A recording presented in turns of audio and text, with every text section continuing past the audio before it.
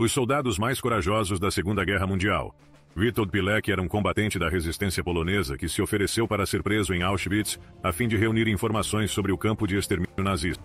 Ele escapou de Auschwitz e mais tarde liderou uma revolta contra os alemães. Nikolai Gastello foi um piloto soviético que realizou uma missão suicida durante a Segunda Guerra Mundial.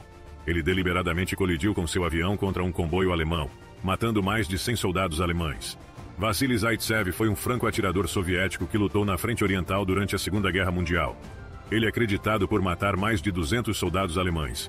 Leonid Govorov foi um general soviético que comandou a frente de Leningrado durante a Segunda Guerra Mundial. Ele foi responsável por quebrar o cerco de Leningrado, um dos cercos mais longos e mortais da história.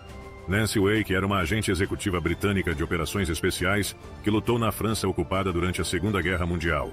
Ela é creditada por ajudar a resgatar mais de mil prisioneiros de guerra aliados.